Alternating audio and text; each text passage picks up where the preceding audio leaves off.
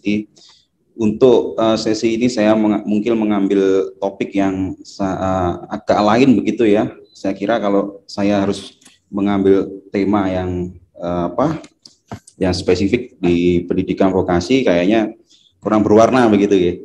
Jadi uh, jadi saya agak sharing aja karena di sini saya tahu banyak peserta dari mahasiswa juga begitu, dari mahasiswa-mahasiswa uh, dari vokasi atau dari SMK ya. Nah, uh, barangkali ini nanti kita lebih kayak sharing sharing experience ya, karena saya sendiri sebenarnya asli mahasiswa vokasi gitu ya. Dulu saya di saya di empat ya, sarjana sains terapan dan uh, artinya pendidikan vokasi itu benar-benar saya alami uh, di saat itu ya sebagai mahasiswa vokasi kulturnya seperti apa, pola pendidikannya seperti apa, yang kebetulan saya juga uh, anak politeknik gitu ya. Saat itu saya di politeknik uh, di politeknik perkapalan sebenarnya di, di TS dulu ya. Saat itu masih masih bergabung menjadi satu di TS gitu. Ya.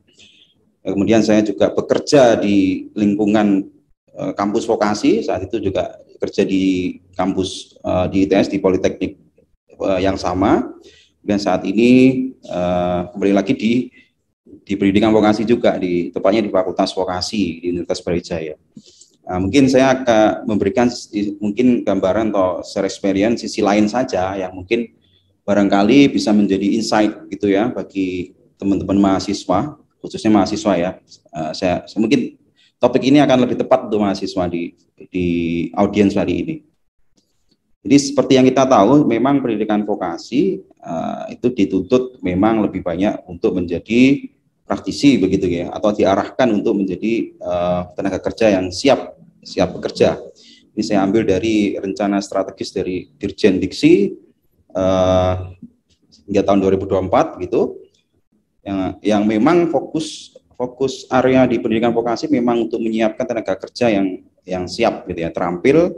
Kemudian dari sisi kurikulum itu juga memang harus begitu ya harus turunan gitu, turunan atau derivasi dari kebutuhan dalam dunia kerja gitu ya. Atau memang based on permintaan dunia kerja. Gitu. Nah, dalam topik hari ini uh, saya agak uh, condong ke soft skill sebenarnya.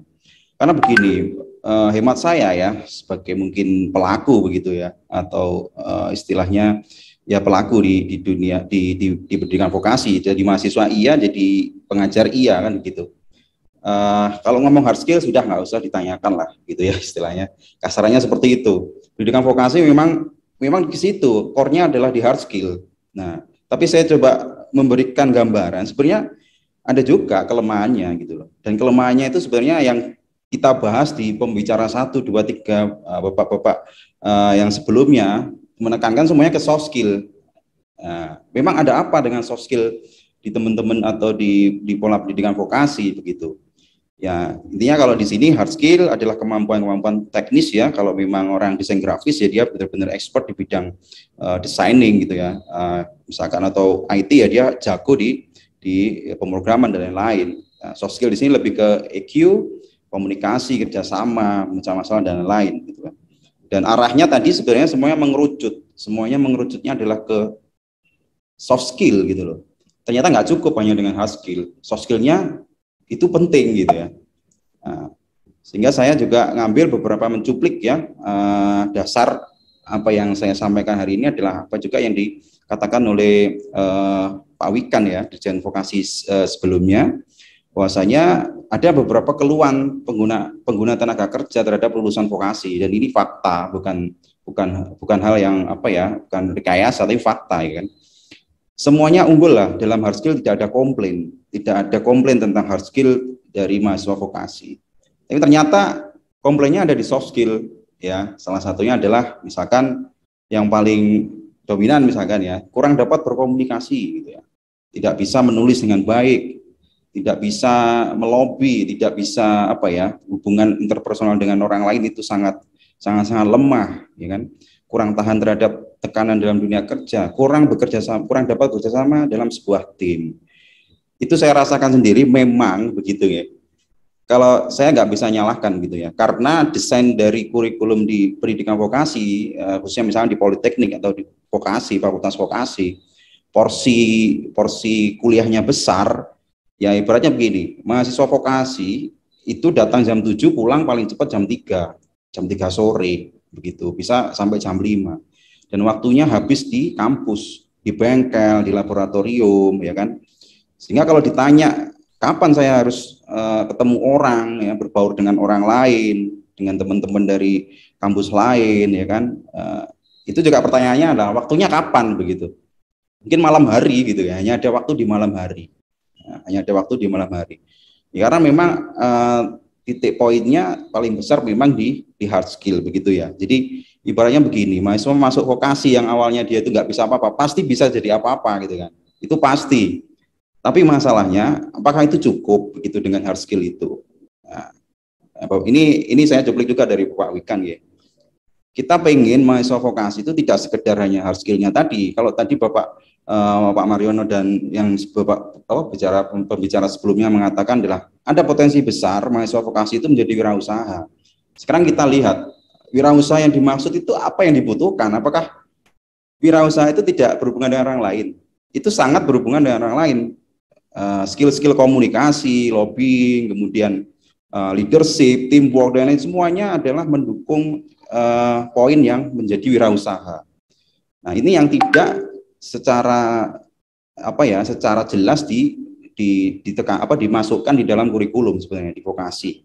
Itu uh, dan nggak bisa memang karena uh, soft skill di sini, soft skill ini adalah sebuah proses. Katakanlah ketika mahasiswa masuk tidak bisa diwakili dalam satu mata kuliah wirausaha dalam satu semester kemudian diuji ya hasilnya mungkin hanya sebuah nilai tapi tidak bisa mencerminkan atau kita tidak bisa memastikan bahwasanya mahasiswa kita memang sudah sudah oke okay di, di, di soft skillnya kan itu seperti itu. Nah, jadi padahal lulusan vokasi itu punya peluang untuk uh, W ini ya konsepnya dari BMW gitu bisa dirubah menjadi WBM ini yang di, yang dikemukakan oleh Pak Wikan ya kan. WBM-W-nya itu adalah wirausaha secara basic basic uh, kompetensinya itu sangat kena. Misalkan nih uh, mahasiswa saya lulusan IT gitu ya, lulusan bidang IT. Setelah lulus, dia mau bikin prototype, bikin produk, itu cukup dia sendiri gitu kan. Dia bisa melakukan itu sendiri tanpa harus mencari orang lain. Dia bisa bikin prototype, bisa bikin produk, bisa bikin uh, produk jadi. Masalahnya adalah mahasiswa-mahasiswa ini tidak bisa menjual karena memang uh, mungkin spek speknya memang seperti itu begitu loh. Nah, ini yang kemampuan soft skillnya ini yang harus dipoles menurut saya. Dan sayangnya sayangnya begitu sayangnya tidak. Sepertinya kok susah kalau kalau dimasukkan dalam mata kuliah. Bagaimana kita ngukur soft skill di mata kuliah? Itu susah karena ini kan sebuah proses. Nah makanya ini perlu semacam brainstorming. Begitu dalam kesempatan ini saya coba uh, apa ya sharing aja. Mungkin ada hal yang bisa kita lakukan loh oleh kampus begitu ya Ya, intinya kita kepingin mengupgrade uh, soft skill teman-teman di vokasi itu uh, komunikasinya, leadershipnya, teamworknya, ya kan, presentasinya. Terutama English itu juga jadi masalah, sudah jadi rahasia umum. Uh, English teman-teman di vokasi itu bisa dikatakan agak di bawah gitu ya, agak di bawah standar. Nah itu itu jadi rahasia umum. Kemudian di uh, leadership juga sama, lobbying, ya itu juga menjadi menjadi masalah.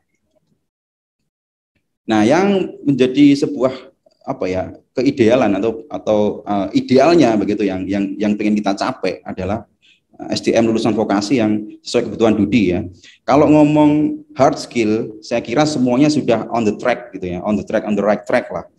Uh, misalkan dengan model-model kurikulum PPA, project based learning, sampai kemudian satu hal yang mungkin membedakan dengan teman-teman di akademis adalah sertifikasi kompetensi. Jadi itu uh, sudah menjadi hal yang sangat apa ya uh, ya sudah sangat benar begitu.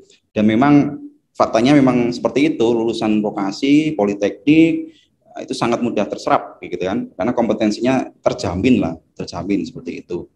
Dan satu hal mungkin kalau ngomong hard skill juga ya etos kerja saya sendiri merasakan hal yang memang dibentuk di vokasi di politeknik itu adalah habit gitu ya. Uh, berangkat jam 7 pulang jam 3 itu itu secara nggak langsung itu udah membuat habit yang etos kerja yang sangat baik gitu. Dan itu mungkin saya rasakan sampai sekarang ya. Walaupun tidur malam pagi jam 7 tetap tetap bisa karena sudah menjadi habit. Dan itu harusnya di teman-teman di, di fakultas-fakultas vokasi di politeknik itu menjadi ciri khas. Harus tetap dipertahankan. Karena itu yang nggak bisa atau selling point yang sangat luar biasa ya kalau dibandingkan dengan teman-teman mungkin di fakultas yang akademis ya itu sudah jadi bisa bisa divalidasi lah artinya gitu karena itu uh, sudah habit. Nah yang seperti itu oke okay, tetap tetap di tetap dipertahankan. Cuma di bagian soft skill ini yang menjadi PR gimana mencetak manusia menjadikan mahasiswa ya alumni yang benar secara habit bagus kemudian apa etos kerja bagus tapi dia juga punya communication skill leadership problem solving English presentation critical thinking dan menurut saya itu tidak harus didapatkan di dalam kelas di luar kelas semuanya itu di luar kelas. Nah mungkin dari itu kesempatan ini mungkin ya strateginya adalah kita bisa menggiring begitu atau membrainstorming atau memberikan motivasi ke teman-teman mahasiswa atau mahasiswanya sendirilah yang ada di sini ya untuk mencari soft skill itu di luar gitu ya. Yang paling ideal anda berorganisasi. Organisasi dalam intra maupun ekstra terlibat dalam event kalau bisa terjun ke masyarakat ya atau dengan magang dan lain-lain itu mungkin salah satu cara paling efektif untuk membentuk soft skill ya Lalu apakah kampus tidak bisa membuat semacam apa ya strategi yang mungkin sistemik begitu ya, strategi yang yang tersistem yang diberi yang memang kampus memang punya concern di situ. Uh, saya rasa bisa begitu ya. Saya rasa bisa di beberapa uh, event atau beberapa program kampus sebenarnya uh, mungkin sudah banyak yang melakukan ya. Ketika mahasiswa masuk ke kampus yang baru ya di pengenalan kehidupan kampus, harusnya di situ harus menjadi titik tolak pertama karena ini adalah kebutuhan yang mungkin uh, mahasiswa harus cari sendiri. Ya, kampus itu hanya menjamin di hard skillnya melalui kurikulum, melalui kelas, melalui program-program di di apa ya di, di di bidang satu begitu ya. Nah, untuk soft skill ini ini benar-benar mahasiswa itu harusnya ya di di awal kali masuk itu benar-benar diarahkan di brainstorming benar-benar. Ini sebuah kebutuhan, bukan sebuah apa ya kita harus bahwa mereka juga agak pragmatis. Maksudnya pragmatis bahwasanya soft skill ini memang harus dicari, bukan karena sok-sokan, bukan gitu ya. Kalau kamu kepengen hanya jadi junior engineer misalkan selamanya, ya udah kamu harus skill aja. Masa kamu ada kepengen jadi manajer so, uh, atau supervisor atau lain lah yang terkait dengan karirmu kan begitu. Saya kira itu harus ditekankan di awal, di ketika mahasiswa itu masuk. Nah, kemudian pasti uh, di, di mata kuliah juga harus ditekankan aspek-aspek kayak mata kuliah yang berba, apa yang genrenya dalam leadership ya, personality. Saya kira itu banyak di kampus-kampus sudah menerapkan itu, kewirausahaan juga ada. Tapi balik lagi terus terang saja itu ya hanya istilahnya mungkin gugur kewajiban saja gitu ya. Nggak bisa divalidasi dia bisa bisa apa ya, bisa nangkep atau bisa dia nanti dapat value-nya itu agak susah juga kalau di, di, di apa di di dibandingkan di mata kuliah. Nah, kuliah kerja nyata ini juga bagus. Uh, di tempat kami ini juga uh, baru saat ini juga mewajibkan ya untuk KKN tematik. Ini juga masih bagian dari program kampus apa uh, eh, MBKM ya, mereka belajar kampus merdeka. Dan itu juga bagus Bapak Ibu. Karena begini, KKN ini selama ini di vokasi kan tidak wajib. Mungkin di politeknik tidak ada tuh yang KKN Bapak Ibu, ya kan? Nah, di fakultas pun sebenarnya juga mungkin ya beberapa kampus fakultas vokasi yang mungkin ada dan itu sebenarnya bisa untuk menutupi mungkin ya uh, salah satu soft skill yang bisa kita miliki di, di untuk mahasiswa kita. Tujuannya satu itu tadi uh, eh, WBM tadi wirausaha ya kan kerja. Nah wirausahanya kan harus harus paling enggak mahasiswa kita harus tahu pernah terjun ke masyarakat, bersentuhan dengan masyarakat.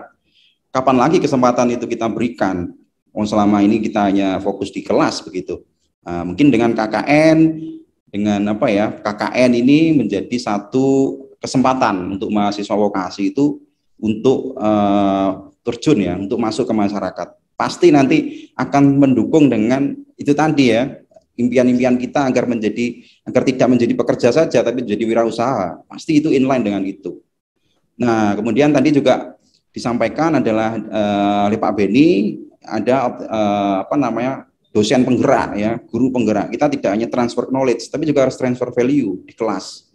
Karena waktu terbesar kita bertemu dengan mahasiswa itu dosen yang punya waktu terbesar eh, bertemu dengan mereka. Sehingga tidak sebisa mungkin ya harusnya kampus juga punya concern di sini mengoptimalisasi peran dosen tidak hanya dalam transfer knowledge tapi juga transfer value motivasi uh, memberikan gambaran brainstorming pada mereka. Bahwasanya uh, ya itu tadi hard skill oke. Okay. kamu masuk sini pokoknya hard skill pasti dapat. Tapi itu tadi soft skillnya ini. Soft skillnya ini harus di trigger ya itu yang seperti itu nah, kemudian J, kemudian optimalisasi peran bidang tiga di kemahasiswaan. Nah, karena pasti ada di bidang tiga kemahasiswaan ini punya peran penting, ya eh, harusnya harus benar-benar jadi fokus juga, ya. Misalkan di optimalisasi keikutsertaan dalam lomba, lomba-lomba, ya pusprestas. Kalau lomba-lomba pusprestas pasti Bapak Ibu juga eh, familiar ya. Kemudian bentuk-bentuk program 8 kegiatan MBKM ini harusnya di, dikawal benar-benar oleh bidang tiga pastinya ya, mungkin dan bidang satu begitu. Nah, pelibatan mahasiswa, eh, organisasi mahasiswa ya itu juga harusnya menjadi perhatian begitu ya. Support-support pendanaan, program untuk ormawa itu juga harus dilakukan. Yang dilakukan di tempat kami ya eh, mungkin tidak tidak menjadi best practice yang terbaik ya, tapi kita sudah lakukan begitu ya dari PK2 maba dari mahasiswa masuk ada masa satu sampai satu semester ya kita uh, melibatkan mahasiswa untuk mengasah soft skillnya Bapak Ibu. Ada program krida ini krima mahasiswa. Nah, kemudian setelah itu mahasiswa digodok lagi di, di, di himpunan begitu ya di program studi. Kemudian dari bidang tiga juga tidak sekedar hanya eh kamu mahasiswa ikut lomba kalau menang laporan. Tidak kita lakukan juga bootcamp. Kita arahkan mahasiswa-mahasiswa itu memang benar-benar kita kasih pelatihan ya uh, untuk bisa apa ya matang dalam mengikuti event-event ini. Dan satu hal adalah prestasi mahasiswa adalah reputasi kampus. Jadi, jadi sangat menguntungkan sebenarnya kalau kita mau mengelola ini.